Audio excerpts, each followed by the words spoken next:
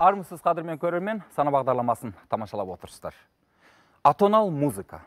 Батыста 19 ғасырдың соңында туып 20 ғасырда шарықтау шегіне жеткен классикалық музыканың маңызды ағымы.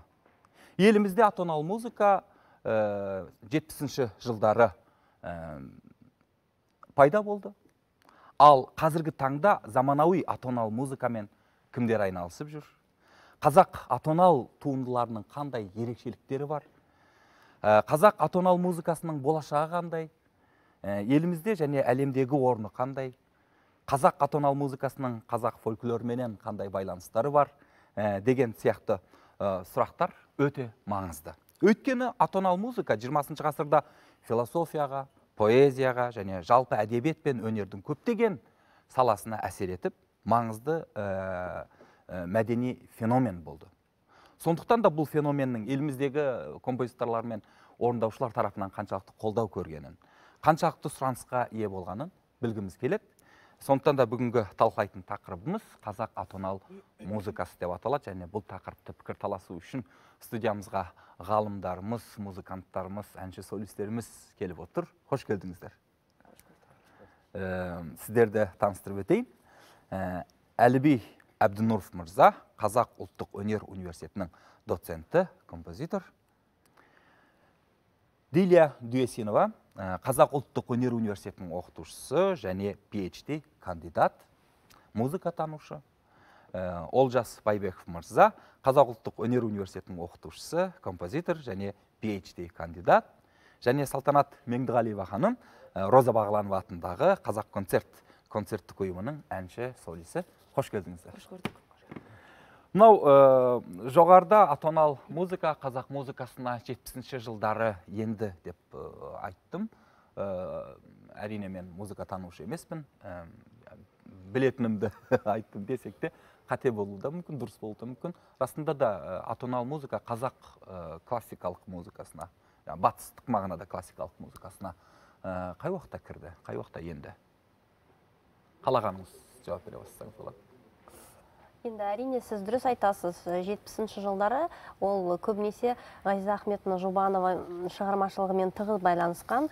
Бірақ та ым, толығымен атанал музыкада жазған шығармалары жоқ Иә, негізінде. иә, иә. Тек э, элементтері болмаса, сол біздер біздерге таныс э, операсы 28, э, балет Хиросима деген сол э, шығармалардан бастап ары қарай э, басқа да шығармаларда сол атанал музыкасының э, басты элементтері бар. Ол үшін мысалы композиторлер қандай мақсатта пайдаланғаны өте маңызды болып саналады.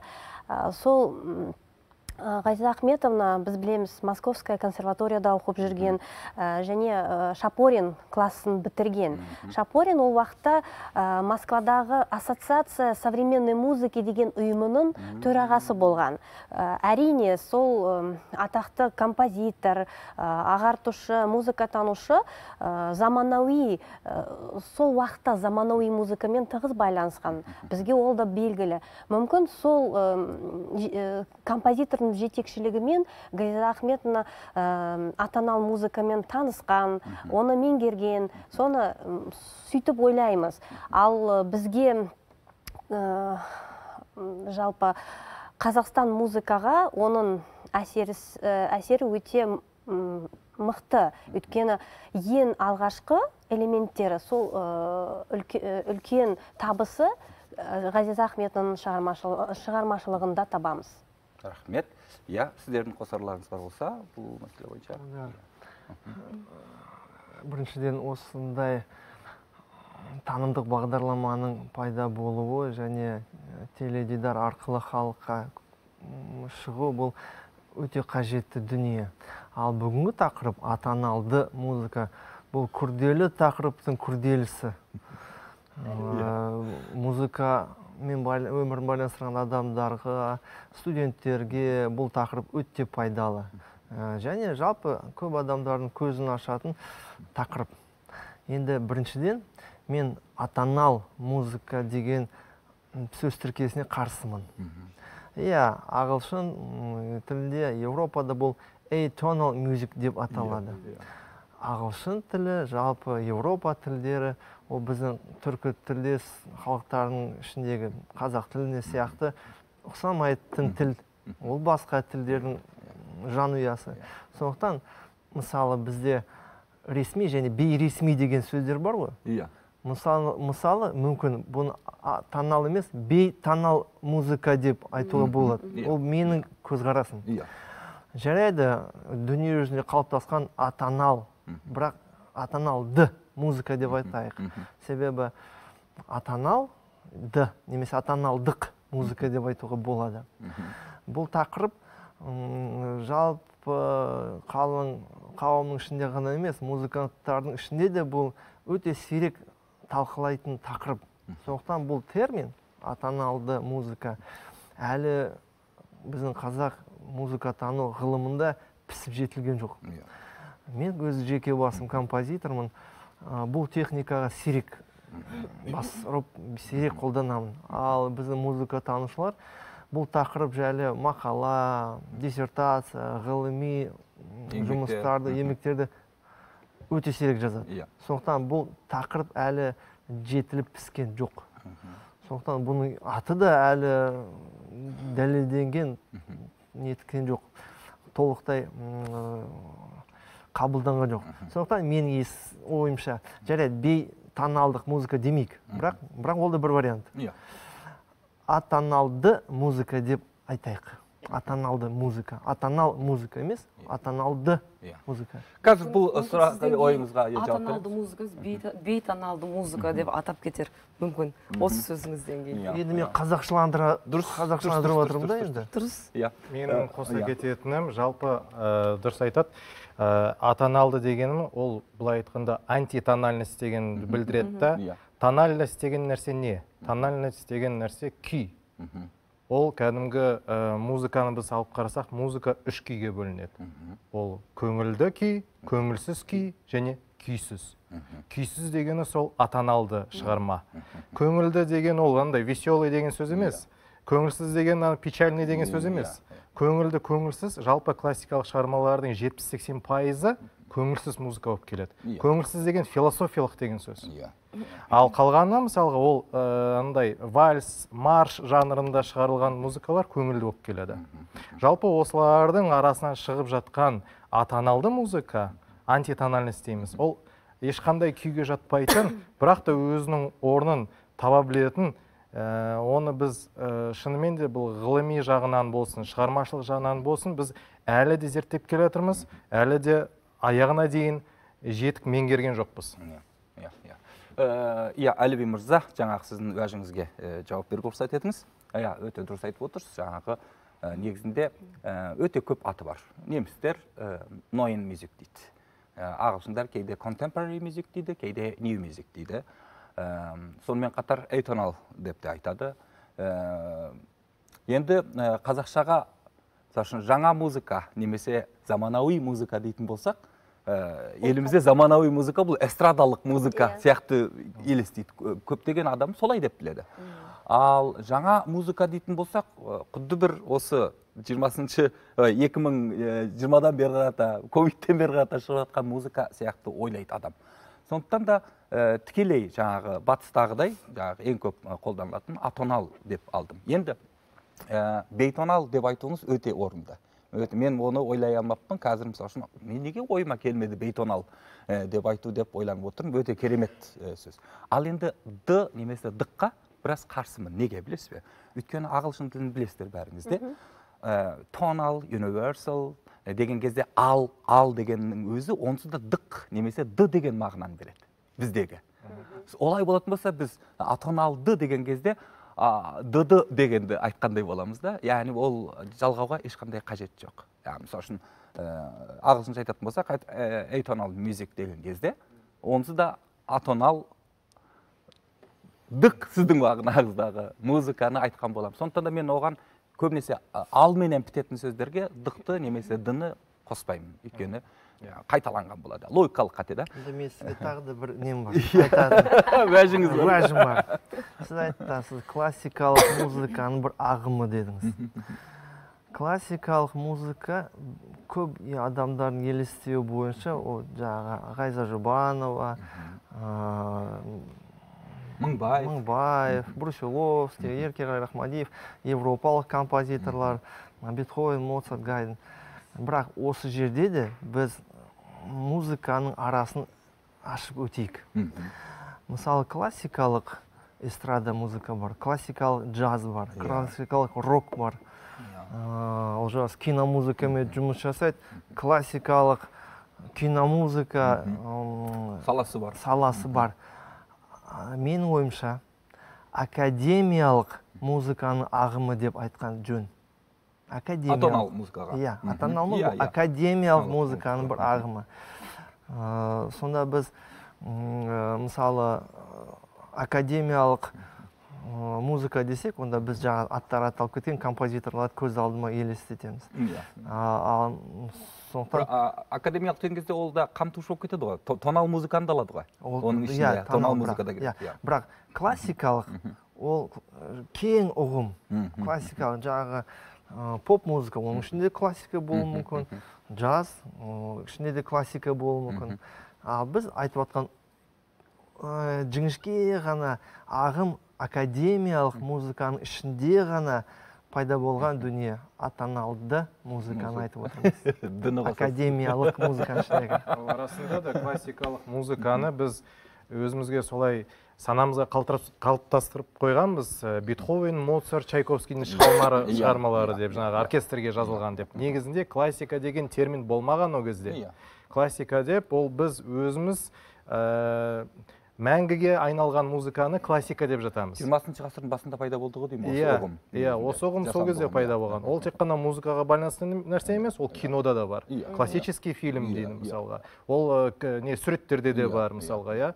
ол ә, жалпы біз өзіміз ш- шедеврге айналдырған шедеврге айналған нәрселерді классика ретінде біз қалыптастырғанбыз. Сол үшін классика деп аталады. А негізінде ол шынымен де академиялық тұрғыдан шыққан бөлек бағыт бағдар. Соны біз ә, дұрыс ұғынып соны ә, нету керекпіз жаңағы ә, дұрыс ә, атау Иә, керекпіз иә. да әрине Иә. әрине. Э, десек те жаңағы мынау әлеуметтік ә, гуманитарлық салада э, физика саласы емес қой жаңағы.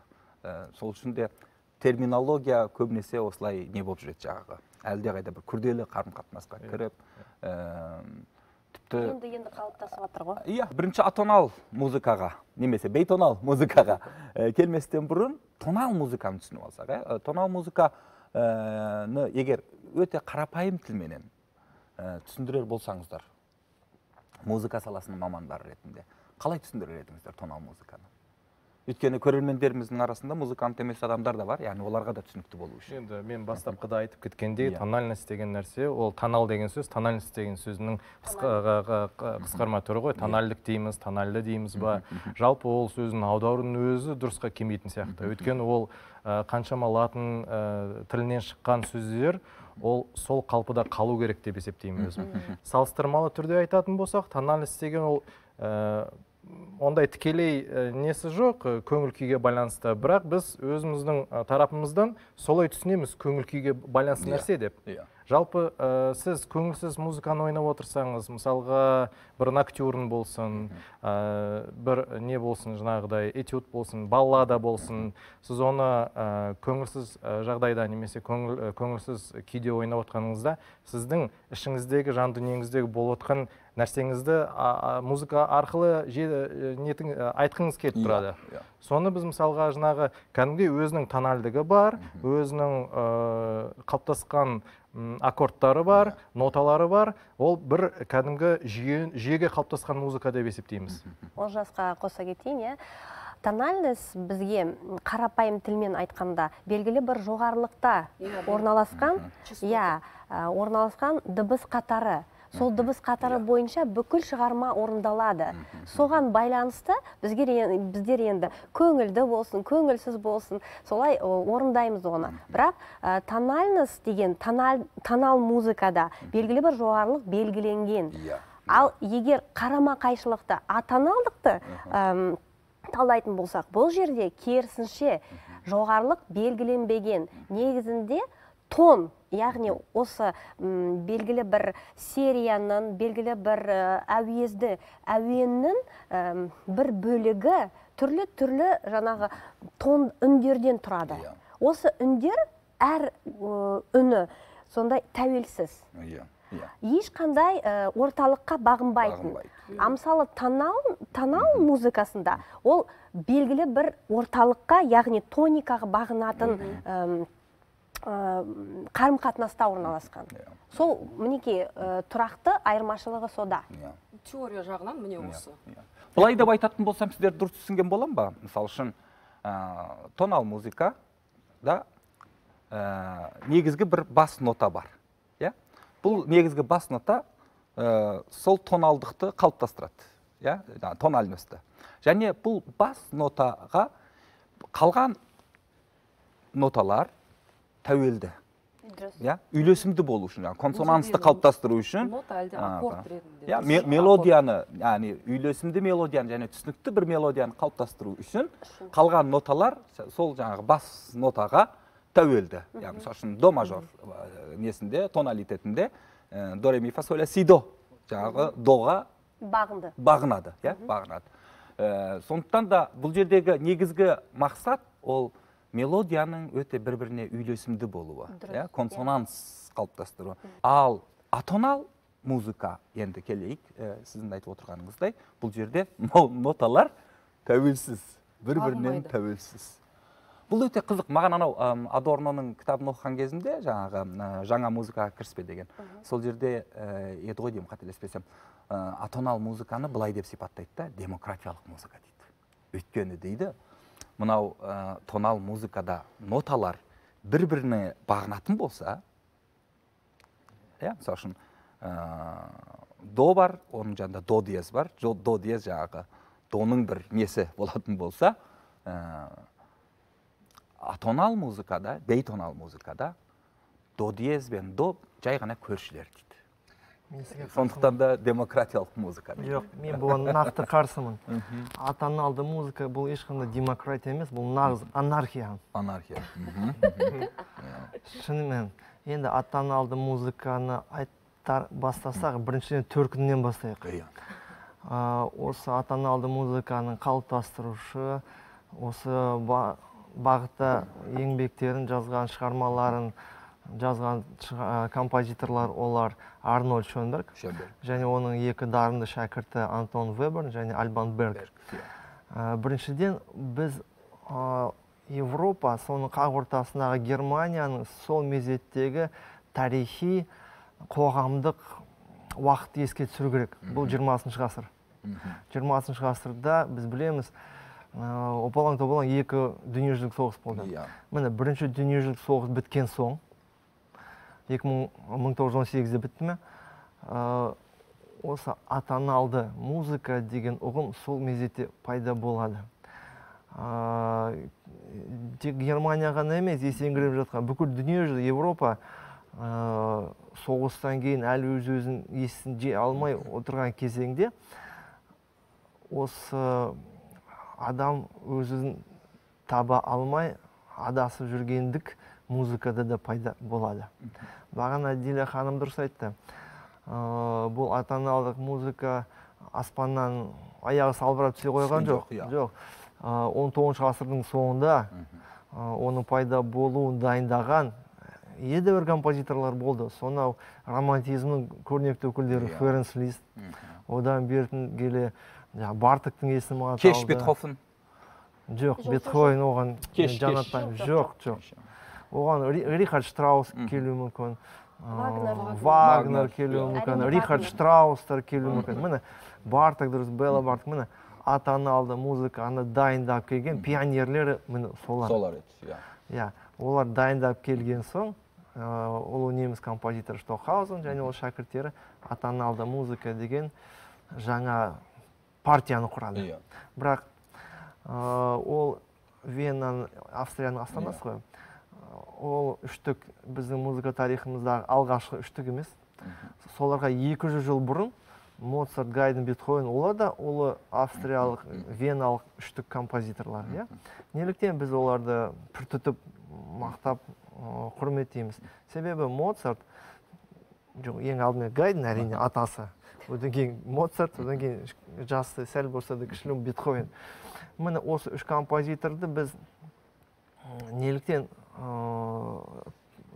энциклопедияға енгіздік себебі сол замандағы музыканы ең ы, көп қолданылатын жанрларды олар қалап кетеді. Олар симфония соната және квартет.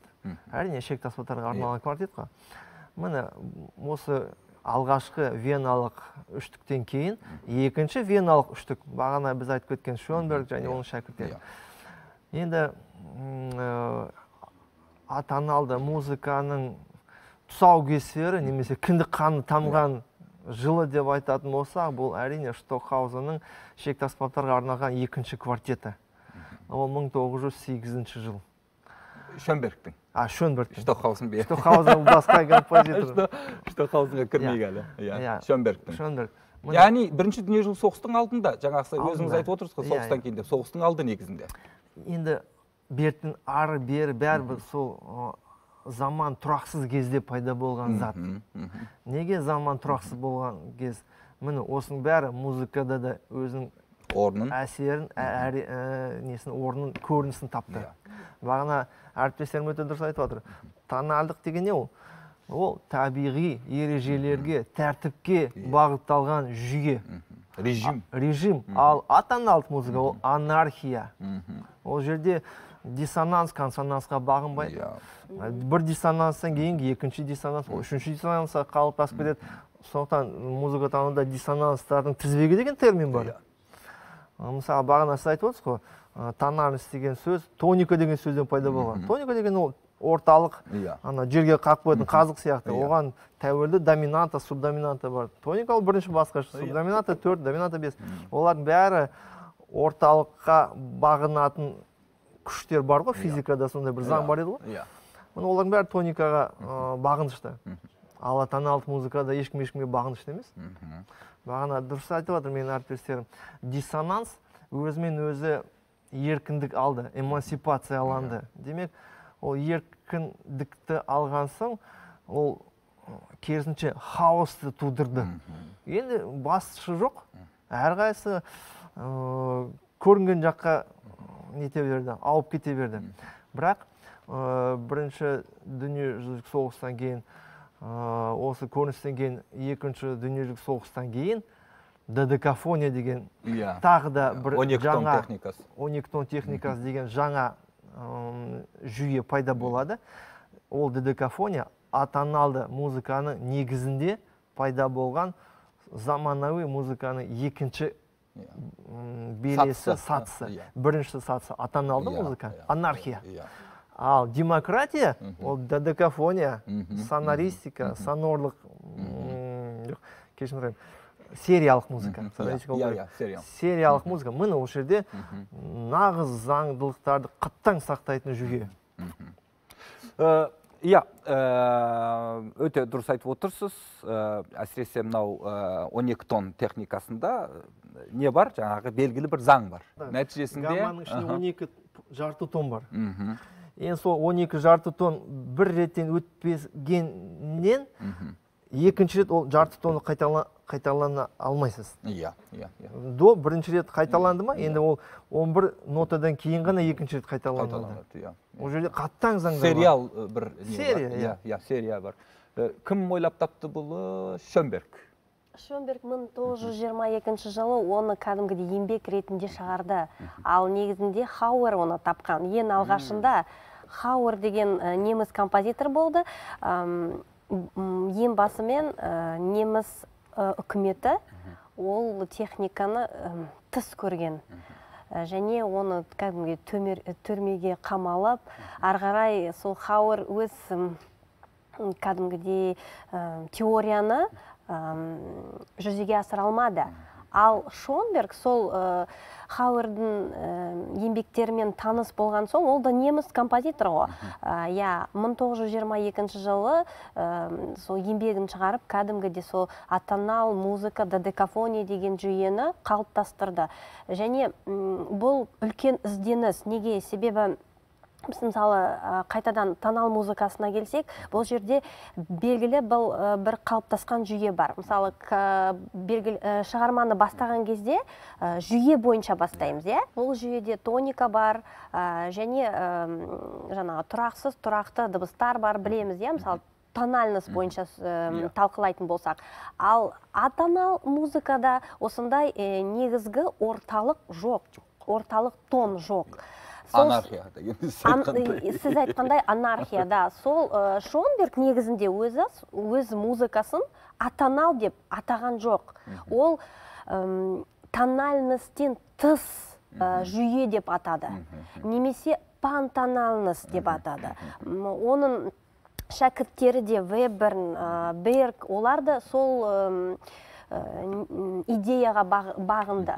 Бірақ ә, сол жалпы тондар тәуелсіз болған соң иә белгілі бір жүйе қажетті болды. Сол жүйе 12 ә, додекафондық техникасы. Иә, иә, 12 тон техникасы. Мына иә кетейінші.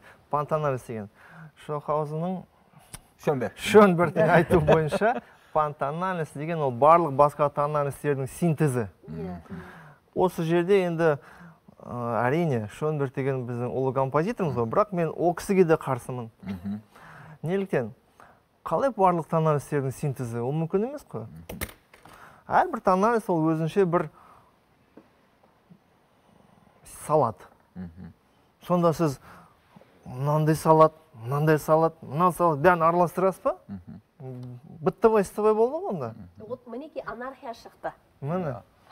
Ал ол мысалы үшін ә, шөнбергтің алғашқы еңбектері сонда ә, егер өте қарапайым тілмен айтатын болсақ қарапайым тілмен айтатын болсақ сіздің көзқарасыңыз бойынша нөл ма? Жоқ. Ә, бұл өте үлкен реформатор новатор патрио ә, пионер. Авангард деп айтсам болады. Ә, бағана аттарын атап кеттік қой. Бартак рихард штраустар. Стравинский деген композиторлер иә лист Ә, олардың шығармаларында ғасырлар бойы тұрақталып қалған ережелерге ә, қарсы тұру. қарсы тұрды. Мысалы бағана айттық қой тоника ол тұрақты бір басқыш бірінші бас неде тұрады? Орында тұрады. Доминанта диссонанс оған тәуелді. Ал бағана атап кеткен рихард штраус стравинскийлер ол сақтамады ол ережелерді. Сондықтан ә, диссонанс босаңсып кетті эмансипацияланып кетті.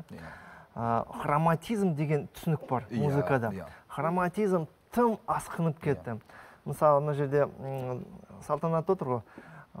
Эстрада джаз музыкасында мысалы мынандай аккордтар бар. Музыка танушылар жақсы біледі ол жақсы біледі. Мысалы доминант септаккорд бар иә? До мажорда соль си ре фа енді мысалы сол соль си ре фаның ішінде ол төрт дыбыстық нота ғой? Ол төрт дыбыстық нота ол Га- Ба- гайдн моцарт бетховендікі одан кейінгі композиторлар ол төрт дыбысты бес алты жеті сегізге дейін шығарды. Көбейтті. ол иә. бір. Одан кейін құдай бере салған терциялық заң бар ғой бізде. Иә, терциямен әжептәуір бүйтіп бүйтіп баспалдақпен жасалатын аккорд. Олар енді сол қағидатты терциядан жасалатын аккордтарды бұза бастады. Енді сен терциямен емес квартамен істейсің Иә. квинтамен істе. Тағы да терциямен қолданылған аккордтың ішіне тағы да септиманы кіргізіп жібересің нонаны секунданы квартаны кіргізіп жібересің. Ол бір. Ол кварта секунданың тағы да диссонанс болу үшін Иә. біреу төмендейді Иә. біреу көтеріледі. Ал мен жаңа айтайын деп жатқаным мынандай аккорд. Сіздер бәрін жақсы түсініп жатсыздар до мажорда соль си бикар фа си бемоль. Мысалы мына жерде си бикар және си бемоль. Екеуі де си. Бірақ біреу си бикар біреу си бемоль. Иә. бірақ екеуі де бір аккорд. Иә. Ол құлаққа өте әдемі дәмді естіледі. Ащы болғанымен. Ол нағыз джаз музыкасындағы аккорд. иә. бірақ терциясы ажыраған аккорд. Міне осындай ізденістер. ноу хау осындай жаңашылдықтар ә, тәуел тұрақталып қалған классикалық ережелерді бұзып атаналды музыка одан кейінгі додекафониялық музыкаға әкеліп соғады. Иә. Осындай ә, ережені бұзу. Немесе хаотик музыканы жасау. Неға себеп болған мынау әлеуметтік мәдени қандай факторлар бар еді? Әлде жай ғана музыка тарихының өзіндік бір несі ма даму тарихы ма? Яғни әлде сол кездегі еуропадағы кейбір оқиғалар әсер етті ме? Қалай ойлайсыздар? Неліктен пайда болды біз енді ол кезде өмір сүрген жоқпыз ғой. иә. сондықтан біз к- тарих кітаптарынан ғана оқып жатамыз оны.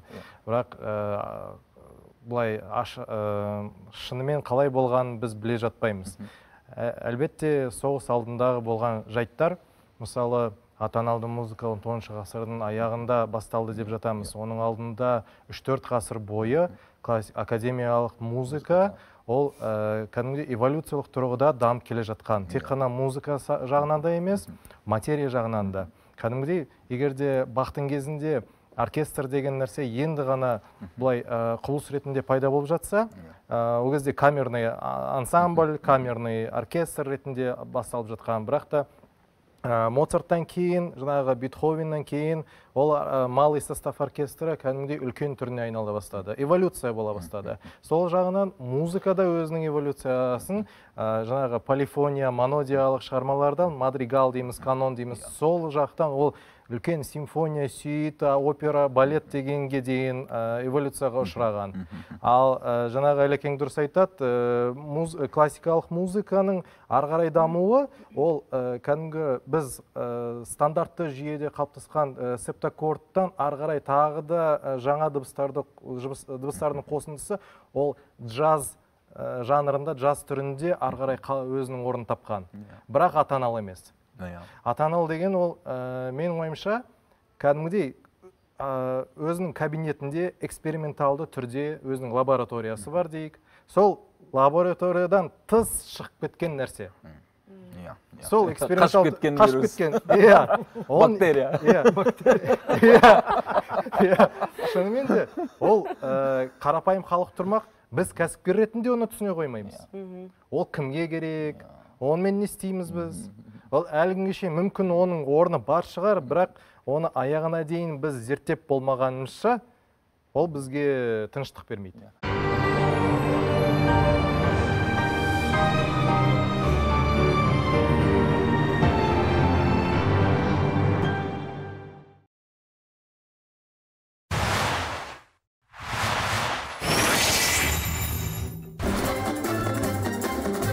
Сыр сүлейлерінің ізін жалғаған өнерпаздар. Шиен байлар туған. Сым ажал тым ертерек кетті ау қармап қорқыт баба қобызының қоңыр үні оркестрлер айтысы мен әлемдік әндер шеруі. Қызылорда облысы өнер жұлдыздарының сұлу сырдан ару астанаға атты мерекелік концертін абай телеарнасынан тамашалаңыздар.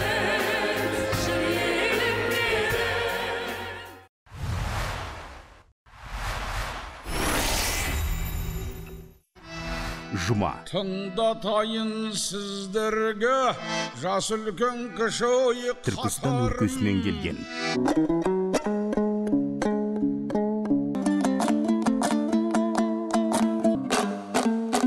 Ұлттық өнердің майталмандары. Атадан қалған асыл сөз жүзгізген өрге кемеңді. Қарасын тұтсын өзіңдай тілеулес жандар кешеге әнжу маржан сахнасының төрінде. Парасат пайым таным түсінік сана сезімнің даму үшін. Абай арнасы ақыл ойдың айнасы. Мынау э, иә э, өте дұрыс айтып отырсыз расында да жаңағы неден лабораториядан қашқан бактерия иә? Былай дейді да жаңағы осы атонал музыканы және музыканы зерттегендер. Э, иә расында да мынау жаңа музыкаға дейін батыс қоғамында болсын әлемде қоғамда болсын және сонымен қатар өнерінде болсын бір тылсым бар еді дейді. Тылсым. Жаңағы бір органик қарым қатынастар бар еді дейді. Жаңағы қоғамда.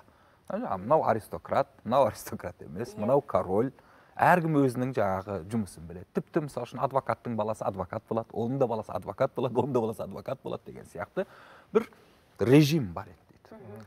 Ә, м, ағару кезеңі оның нәтижесінде пайда болған индустриялық кезең оның нәтижесінде болған ә, капитализм және технологияның дамуы бу ә, энергиясының табылуы пойыздар заводтар фабрикалар ауылдан қалаға көшкен миграциялар европадан америкаға көшкен миграциялар нәтижесінде бір расында да бір орта мынау кеңістік қоғамдық алаң хаостың ішінде дейді. Және бұл міндетті түрде ә, өнерден өзінің көрінісін тапты дейді. Хаос ретінде қайтты. Ә, дейді ә, келісесіздер ме осы көзқараспен әрине яғни негізгі себебі сол дейді да жаңағы қоғамдағы жағдайды көрсету және сонымен қарай ары қарата қоғам енді қалай дамиды деген кезде алдында демократия туралы айттыңыз ғой иә. қанша жерден біз демократияны айтпасақ та демократияның өзі бір жүйеге қалыптасқан Сол жүйеден шығатын нәрсені демократия деп айта аламыз біз. Иә, иә. А, джазовый музыкада э, демократичный жазылған музыкалар бар. Мысалы біз э, э, кинодан ақ байқаймыз. Егер де бір бес адамнан тұратын ансамбль болса контрабасист сосын трубач пианист бар гитарист бар иә. Олар бір мезетте бастайды. Бірақ үш төрт минуттың ішінде үшеуі төртеуі де әртүрлі нәрсені ойнап жатады. Иә, бірақ барлығы үйлесімді үйлесім ішінде барлық үйлесім. Мұқият тыңдасаңыз ол бақтың прелюдиясы сияқты. Иә. бақтың Иә, инвенциясы сияқты. Әрқайсысы бірімен үйлесім тауып жатады да олар атанал емес. Олар кәдімгі бір тональностьте жазылған шығарма ол ә, бір ә, неге ә, ең қызығы әрқайсысы импровизацияда ойналады. Иә. Әрқайсысы ойдан шығарып жатады. Е- ә, ең бастапқысы басында дұрыс бастау және ең аяғына келген кезінде бір біріне қарайды да бірге бітіреді. Иә осыны демократия деп айтса болады. Әр аспап өзінің әңгімесін айтып жатады. Иә. ал жаңағыдай біз айтып отқан хаос деген нәрсе ол мысалы мен ә, рубашканың орнына үстіме шалбар кисем шалбардың орнына рубашка кисем ол нағыз ә, тұнып тұрған хаостың өзі анархия деп жатамыз. Онымен мен далаға шыға алмаймын. Бірақ ә, әлбетте біз кинодан да байқаймыз жаңалықтардан да байқап жатырмыз. Батыс елдерінде сондайға апарып жатқан ә, жаңағы жастар көбейіп барады. Ә, жалпы оларға ә, ешқандай ә, жамандығым жоқ қарсылығым жоқ. Бәлкім өздерінің шындығы сондай шығар. Бірақ ол ә, қандай ә, эволюцияға алып келеді? Қандай шындықты айтқысы келіп отыр? Соны түсінгіміз келеді. Иә мынау атонал музыка салтанат ханым сізге сұрақ ә, қойғым келеді. Әсіресе ә, вокалистер үшін өте қиын сияқты. Ә, өйткені тонал музыкада ән айтқан кезіңізде ә, тым болмаса жаңағы тонды беріп тұрады және қалай бастайтыныңызды білесіз. Ал атонал музыкада ондай тон жоқ. Сондықтан да ә, солист ретінде еш атонал ә, бір ә, шығарманы не қылдыңыз ба? Айттыңыз ба? Жалпы менің тәжірибемде енді атаналды музыкада жалпы ән айтқан болмапты. Бірақ осыдан біршама уақыт жыл бұрын мен ә, сазын сол ә, тобымен жұмыс жасағам. Маэстро әділжан толықбаев деген кісі. Неге айтқым келіп отыр? Өйткені ә, қазіргі таңда жалпы мына эстрада болсын эстрадаға жақынырақ шығар. Енді джаз. Әділжан этно фьюжн джаз ә, жанрында ә, жазады. Иә. және әділжанның жалпы бүйтіп ә, творчествосына үңіліп қарасақ өте өте батыл ә, гармониялық шешімдер бар. Енді бұл жерде ә, сон- сонда да бұл жерде атаналды музыка емес. Иә. Ә, эстрадада жалпы ол өте өте емес мүлдем қолданылмайтын нәрсе. Қалай жақындатсақ болады? Жаңа олжас мырза айтып жатыр ғой жаңа джаз деп. Мүмкін шамалы бері қарай мына бибоптан басталатын шығар. Жиырмасыншы ғасырдың қырқыншы жылдарында бибоп мына ә, ритмі тез ә, джаздың бір ағымы ғой ол да мүмкін сол уақыттан бастауға болатын шығар. Әлде мүмкін мен ә, эстрадада жүрген әнші ретінде мүмкін атаналды музыка емес біз, біз үшін мүмкін атаналды деген бір қызық дыбыстар шығар. Қызық дыбыстар э, қызық бір жаңа мына э, айтып отырық қой э, батыл шешімдер. Иә. Неге болмасқа? Әрине болады. Бірақ енді жалпы тәжірибеде эстрадалық музыкада ол мүлдем жоқ. Сосын мүмкін жаңағы оның алдында біз талқылап тастадық бәрін дедік қой. Ә, фольклорлық музыкалық болында да жоқ халық музыкасында да жоқ нәрсе жалпы. Ол бізге жаңағы европадан западтан келіп отырған дүние. Негізінде мына фольклор музыкасында атоналитет жоқ дегенге сәл келіспеуге болатын сияқты. Өйткені мысалы үшін стравинский ә, керісінше орыс ә, славян фольклор музыкасынан өте көп пайдаланды және сол ә, ә, славян музыкасының мелодияларынан өте көп пайдаланды. Өте керемет шығармалар шығарды. Анау весна священная деген туындысы мысалы үшін бір ә, тәжірибе бастан аяқ не музыка жаңағы фольклорик славян музыкасының тема, тема, темасында. Есіме түсіп жатыр жаңағы әділжан деп айтып жатырмын ғой. Жел үстінде жарық айдың обработкасы бар оркестровый әділжанда. Ә, сол жерде соңында бір бір тональностьте тұрмыз мысалы ля минор. Есімде ол. Ә, ля минорда келе жатыр. Маған айтады сен си минорда импровизация жаса дейді. Вот осындай қызық тәжірибе болыпты. Жаңа есіме түсіп жатыр. Өте қызық. Ә, енді бұл яғни транспозицияла дей ма? Сол айтып жатқан нәрсеңді? Си минорға транспозиция ол ля минорда мен си минорда. Қайтадан келсек бұл да атональность емес. Но бірақ Иә, мен үшін иә. мелодия жалпы мына мелодия иә, атональный. Мен өйткені мына жақ ля минорда жүр мен қаңғып си минорда жүрмін. Түсініп тұрсыз ба сондай. Иә. мүмкін сол тәжірибе келе ме екен осы бүгінгі тақырыпқа? Келетін болса? бәлкім бәлкім иә. Мен толықтыра кетсем. Ол қандай тональность болмасын? Ля минор си минор до минор болсын. Оның барлығы тұрақты нәрселер. Тұрақты. Иә. өзінің тұрақтылығы бар. Иә, оған сұрағына толықтыра кетсем сіздің орындығыңыздың бір аяғын алып тастасақ сіз отыра аласыз ба? Отыра алмаймын. Деген сияқты нәрсе. Ата музыка- сондай. Атонал музыка ондай емес сияқты. Әрине сіздерсіздер бұл жерде музыка зерттеушілері сіздер сіздер композиторлар мен емеспін.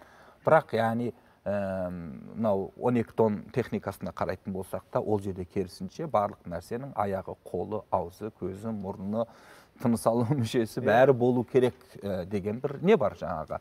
Одан иә ұғым бар. Ә, одан басқа сонымен қатар бір табиғилық бар сияқты. Мысалы үшін қазір мінекей мына жерде иә мына жерде бәрі де тоналды түрде ұйымдасқан емес қой тек бәлкім біздің мына студиямыз тоналды түрде ұйымдасқан шығар жаңағы түстер иә жазбалар біздің отыр, отырғанымыз мына стол деген сияқты бірақ тағы да кеңінен кеңінен қараған кезде табиғатта негізінде бір тоналитеттің ә, соншалықты бір хегамон емес екенін көреміз үстем емес екенін көреміз керісінше табиғат әлдеқайда атонал түрде негізінде орналасқан бізге табиғат баяғыда бәрін дайындап кеткен біздің ә, жаңағы аталарымыз деп жатамыз ғой. бах бетховен моцарт құрманғазы нұрғиса тілендиев па.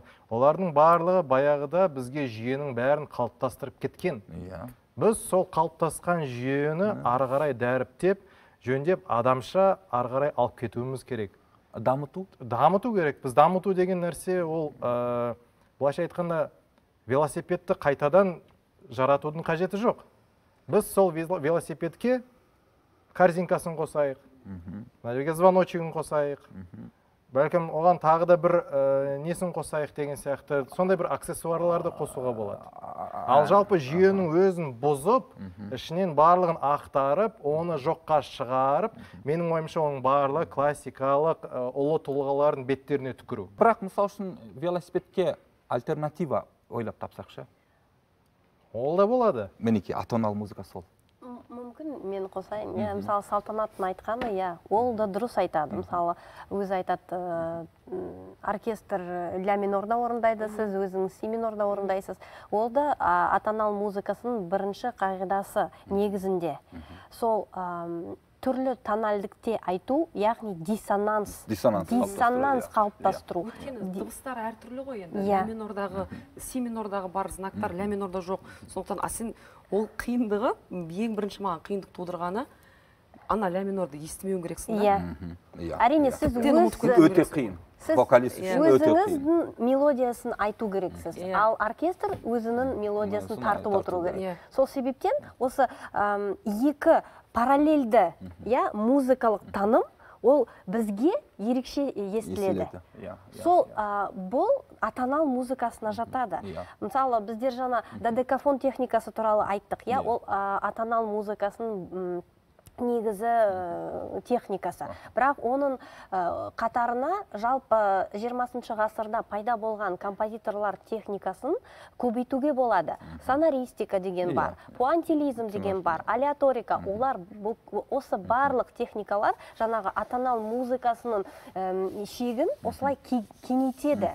Сол себептен мысалы сіз айтасыз қазақ музыкасы да ә, музыкасында осындай атанал ә, элементтері бар ма жоқ па? Сол ә, бүгінгі программаны біз газиза ахметовна жұбановадан бастадық. Иә. ары қарай ә, кімдер болды? әрине қазақ музыкасында да ондай м, ізденістер болды.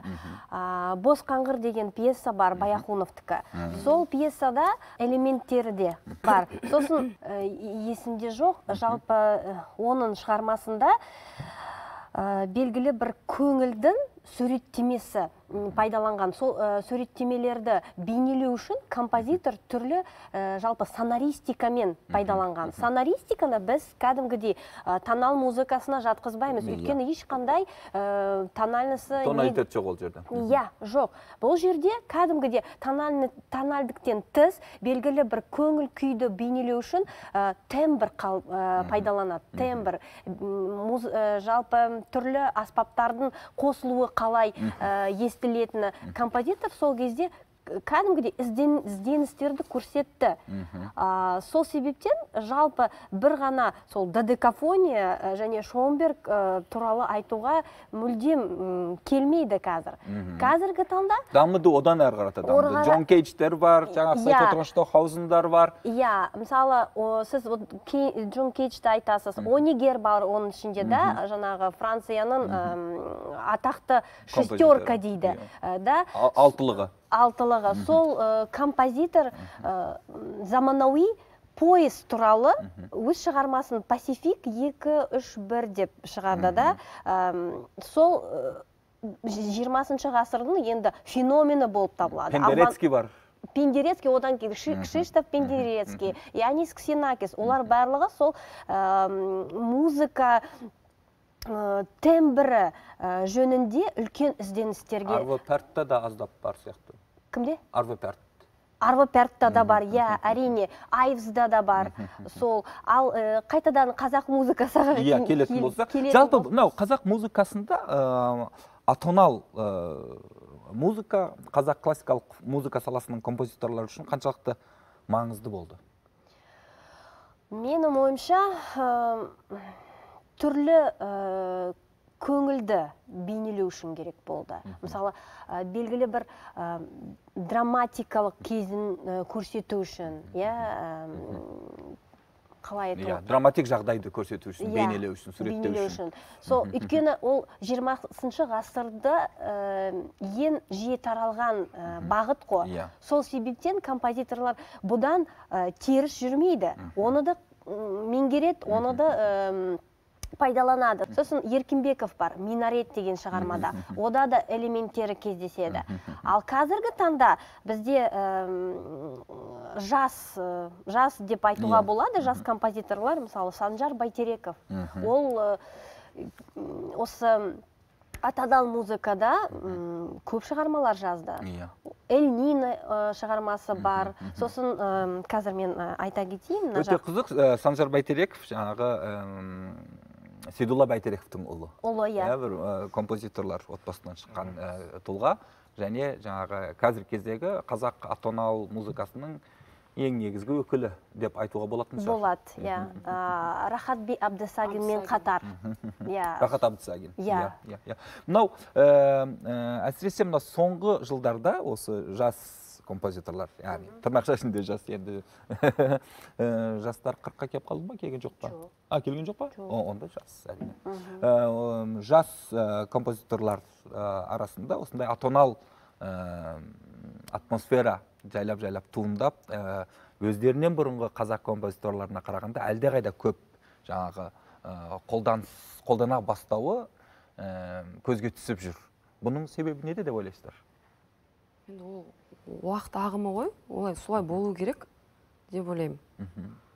Э, жаңа оның алдында біз э, сөйлесіп жаттық та неге бізге сол э, кешіріктеу келіп жатады барлығы? Жалпы мен ойлаймын ол шамалы анау ым, санамыздың ә, шамалы біздер үйреніп қалғанбыз ғой әбден. Былай болу керек былай болу керек деген. Неге мысалы батыста европада шамалы ол нәрселер бір елу жүз жылға алдын кетеді да. Иә. біздерге елу жүз жылдан кейін жақсы ол келсе. Әйтпесе ғасырлап келмей жатады. Ә, сондықтан оның ба- бастамасы болып жатқаны ол нұр үстіне нұр. Ә, түсінеміз деп ойлаймын ары қарата. Ә, және бұл жоқ бір енді себебі қандай себеп болуы мүмкін? Қалай ойлайсыздар? Композитор ретінде? Жалпы иә.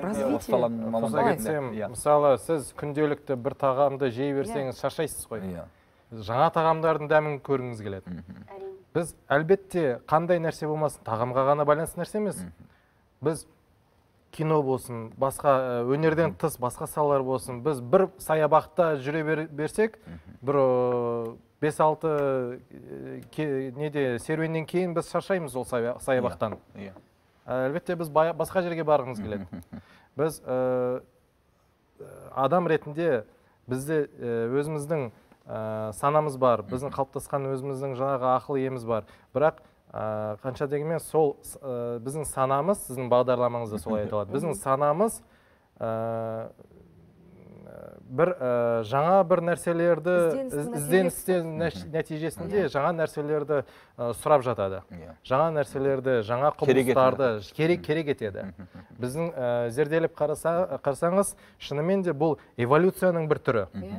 Біз егер де ондай болмаса біз баяғыда тас ғасырында әлі өмір сүретін едік. Шынымен де. Иә. бізде технология болмайтын еді камера болмайтын еді телевизор ештеңе болмайтын еді.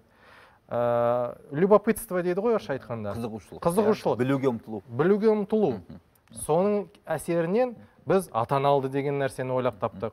одан кейін тағы да бір нәрсе пайда болатын шығар ата аналдан кейін. Мына атонал музыкасының елімізде ә, тыңдарманы бар ма? Ком- музыканттар композиторлар ретінде айтатын болсақ тыңдармандары бар ғой әр ағымның мысалы үшін мен мынау оқып жүрген кезімде ә, 2000 жылдары шетелде едім. Сол кезде ә, алматыда консерваторияда қателеспесем осы жаңа музыка фестивалі болатын. Ә, жаңа музыка деген кезде мен сол атонал музыка деп ойладым да. Ә, әрине барып тыңдап көрген жоқпын бірақ бір екі үш рет болды қателеспесем. Ол фестиваль әлі, әлі жалғасын тауып жатыр ма? Және атонал музыка фестиваль фестивалі ме де? Жоқ әлде жалпы бізде new music generation жылда жылда өтетін фестиваль бар. Иә. Иә иә иә. Сол Сол- ғой деймін иә. New music generation иә сонда заманауи кәдімгідей қазіргі әм, таңға сай шығармалар ә, көрсетіледі ә, орындалады. Сол иә әрине кейбір ә, біздер мысалы студенттерді апарамыз ғой сол фестивальға. Студенттерге кейбіреулеріне ұнайды кейбіреулері кәдімгідей оны ә, менсінбей М- м- кетеді. мазасызданады. Иә. Сол ә, енді өйткені құлақ әлі үйренбеген? Жоқ үйренбеген. ал жалпы мысалы үшін ә, иә, иә, и- елімізге осындай атонал ә, музыка ә, көп ойнала бермейді байқағаным бойынша иә? Иә. Ә, оның себебі осы көрерменнің несі ұнатпауы ма әлде музыканттардың да дирижерлардың да ұнатпауы ма? Менің Иә. ойымша ә, бұл жердің ә, себебін ертеректен іздестіру керек. Иә салтанат дұрыс айтып жатыр европада болған жаңалықтар бізге кешеуілдетіп келеді. Ол рас. Мысалы менің ұстазым қазақстан республикасының халық әртісі профессор ә, мансұр сағатов. Ә, өте білімді өте шебер композитор. Ол кісі маған бұны үйреткен жоқ. Ол айтты егер саған керек болса міне мынандай оқулықтардан қара деді. Иә. енді біз бағана ғайза жұбан апамыз туралы айттық қой ол кісі қырық бесінші жылдарында мәскеу консерваториясына шабаренге түседі жаңағы 12 тоннық музыка э, сериялық м, додекафония деген заттар да сол 20 ғасырдың орта шенінде пайда болған заттар. Мәскеу европаның жанында тұрған оның барлығы жаңғырығы бәрібір естіліп тұрады мәскеуде. Иә мың тоғыз жүз жиырмасыншы жылдар пайда болды бірақ ә, ресейге сол ә, жылдар келген болуы мүмкін. Иә. Сондықтан ә, европада америкада ә, бұл кең өріс алған музыка көрермендерге бала жасынан бастап таныс балабақша демей ақ қояйын бірақ мектеп жасынан бастап оқушылар бұл музыканы естиді. Бір өзінің шығармаларында фортепиано скрипка оркестрмен ол шығармаларды ойнайды. Демек европада осы музыканы тыңдайтын аудитория тәрбиеленеді. Ал бізге ол кешеуілдетіп келді. Бірақ ол жақсы да емес жаман да емес. Ол ол ы, болған нәрсені бар деп айту керек. Мынандай бір сұрақ Аха, қояйыншы бұл ата аналға жүз жылдан асты бір ғасырдан асты иә, иә? осы бір ғасырдың ішінде әлемге әйгілі бір ата аналды музыка бар ма? Ә, иә. Әрине Ә, жаңағы қайсысы? көктем киелі көктем стравинскийдің. Жоқ жалпы халық түсінетіндей халық еститіндей. А халық еститіндей халық түсінетіндей ә, стравинскийдің өзін халық білмейді ғой Әрине, мысалы. әрине, біз мен кәсіпкер ретінде сұрап отқан жоқпын. Халыққа түсінетіндей мысалы халық травиатаны біледі иә? Халық Жоқ. реквиемді біледі деген сияқты. емес, барлығы емес. О, барлығы емес енді оларды вердиларды басқаларды қоя берейік. Э, біздің мысалы үшін осы ғазиза жұбанованың өзін біз э, өкінішке қарай бағалай алмай отырмыз. Біздің қазақ э, аудиториясы э, тыңдай бермейді. Яғни сондықтан да яғни ондай ол х- неменен салыстыра отырып жаңағы бір тонал музыкаға тә- не беру тәж кигізу менің ойымша дұрыс емес онсыз да тәжі бар тонал музыканың. Бейбіт дәлденбаев композитордың аты. Өте мен осы тақырыпқа дайындалып жатқан кезде ол кісінің туындыларымен таныстым маған өте керемет ұнады әсіресе мынау желтоқсан толқуы иә, екінші симфониясының жаңағы кіреберісі өте атонал бір немен бас- басталады да атмосфераменен одан кейін барып бір тоналитетпен жалғасын табады. Сол жайында наталья горячева новая музыкальная газета деп аталатын интернет газетте өте керемет мақала жазды және мақаласында былай дейді. Жалпы классикалық музыка бұл қайнаған қазан ол сөзсіз бәріне және барлығына нәр береді. Бұл жаһандық процесс. Ал композиторларымызға келер болсақ олар қазақ жұртшылығының еркелері емес дейді. Жалпы классикалық музыканың композиторларын айтып отыр бекер. Опустарында фольклорды пайдаланатын авторлардың ерекше құнды екенін көпшілік түсіне бермейді. Олардың шығармалары шетелдік тыңдармандарды қызықтырады. Өйткені оларда бір жағынан мәдениетіміздің идентификациясы болса екінші жағынан қазіргі тілмен жазылған дейді. Бұл жердегі қазіргі, қазіргі тіл дегеніміз қандай тіл? Атонал тіл ме? Әлде жалпы қандай тіл? Жалпы әлемдегі осы классикалық музыка деп сипатталатын музыкадағы қазіргі тіл дегеніміз тіл қандай тіл? Классиканы ғана алып қарайтын болсақ ә, түсініксіз тіл. Өйткені қазір мына бастапқыда соғыс жайында айттық қой. Соғыс екінші дүниежүзілік соғыстан кейін классика өлді десе болады. Ә, жалпы немесе қайта туды. Немесе қайта туды. Бірақ басқа түрде. Иә. Жаңағы Неоклассицизм. неоклассицизм дейді. Авангард пост авангард арт хаус. Қалай айтпасақ та неше түрге бөлмесек те бұлардың барлығы бір ағымда бір бағытта қалыптасқан. Енді қазіргі ә, оларды зерттеп оларды түсіну үшін біз алдымен классикалық шығармалардың өздерін түсініп алу керекпіз. Мысалы ә, қанша мыңдаған шығармалар бар біз білетініміз тек қана ә, жаңағыдай мысалы сороковая симфония моцарта дейміз егер де былай қарапайым тілмен айтсақ иә халықтың тілімен айтсақ. Жаңағы пятая симфония бетховена одан асып бара жатқан жоқ. Мысалы рахмаевтың концерттерін тыңдап ешкім зерделей бермейді ол не туралы екен. Қазіргі классиканы айту үшін біз бірінші ең басындағы болған бағытты түсіну керекпіз. Басында қалай болған? Не болған? Соғыстың алдында. Соғыс кезінде не болған? Соғыстан кейін сосын уже ә, жауабы өзімен өзі ақ табыла жатады деп ойлаймын. Э, сіз жаңа эм, бейбіт дәлденбаевтың шығармасын иә бізге еске салдыңыз. Иә мен де есіме э, келді. Мысалы қазіргі таңда э, көп композиторлар әсіресе шетел композиторлар болсын ә, біздің ұлттық композиторларды айта, айта кетсек олар белгілі бір проц- э, құбылысты ізденіп отыр. Мысалы ежелгі э, жалпы ежелгі тембрларды э, таба отырады иә? Фольклор. Иә жоқ ф- ежелгі кәдімгідей фольклор емес ежелгі Иә. осы қазақ музыкасының тамырында пайда болған иә. ә, құбылыстарды. Соларды зерттей отырып олар жаңа өздеріне ә, жаңа аспаптарды ашады. Сол аспаптарды кәдімгідей өз шығармаларда пайдалана отырып әрине бұл атанал музыка. Өйткені ол танал, танал музыкасына бағынбайды еш уақытта. Ол деген аутентификация дейді иә. Тап солай ә, мен мысалы сол ежелгі аспаптарын зерттеймін иә сол арт рокпен айналсам өзім.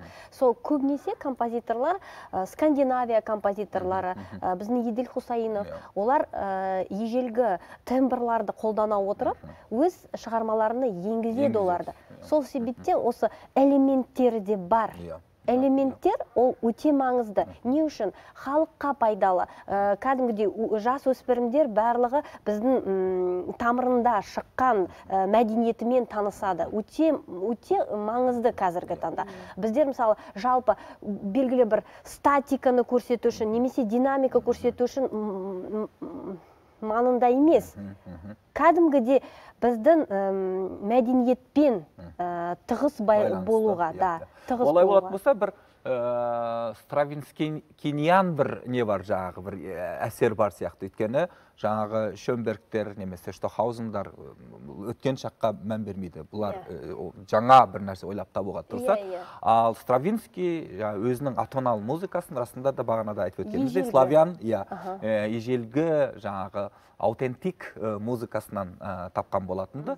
Ә, бізде де сондай бір ә, тренд және тенденция бар екенін айтуға болады. Жұбанованың да туындыларынан мысалы үшін мынау атонал кететін ә, жерлерінде ә, м, бағана көбінесе кульминацияда. Иә иә иә. Бағана сіз оның ұстазының атын айтқан Шапорин. иә иә иә. Иә, Ша- шапорин музыкасымен таныс емеспін өкінішке қарай. Бірақ жаңағы мынау шостаковичтің жаңағы прокофьевтердің әсіресе мынау отызыншы жылдардағы мынау ізденістеріне ұқсас бір нелерді байқайсың атмосфераны байқайсың да.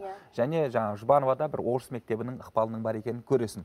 Ал қазіргі мына заманауи атонал композиторларымызда ым, ықпал өзіңіз айтып отырсыз жаңағы бұрынғы ә, түркі му- музыкасы. Түркі музыка, Иә, иә. одан басқа қандай да бір ықпалдар бар ма? Мысалы үшін батыстан келген ықпалдар байқап жүрсіз бе?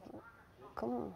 Рахатби абдысагин әрине ол өзі қазір италияда оқып жатыр докторантурада. Және сол шетел музыкадағы бар болған бағыттармен э, тікелей байланысады. Өзі э, соны меңгеруге тырысады. Және әрине бізге ол өте құндылықты. Өйткені э, ол өзі қазақ елінен шыққан оны кәдімгідей ә, қазақ әуендері оған тән. Сол себептен осы жаңа техникамен әм, сол қазақ әндерін қазақ әуендерін осылай байланыстырып тұрса әрине бізде жаңа музыка шығады жаңа бағыт пайда. болады деп ә, үміттенемін үміттенемін. Көп көп рахмет. Ә, бүгін уақыт бөліп ә, кө- көзқарастарыңызды пікірлеріңізді бөліскендеріңіз үшін қадірмен көрермен бүгіндік тамам. Бұл бағдарламамызды ютуб арнамыздан да көре аласыздар. Келесі бағдарламада кездескенше сау сәлемет болыңыздар.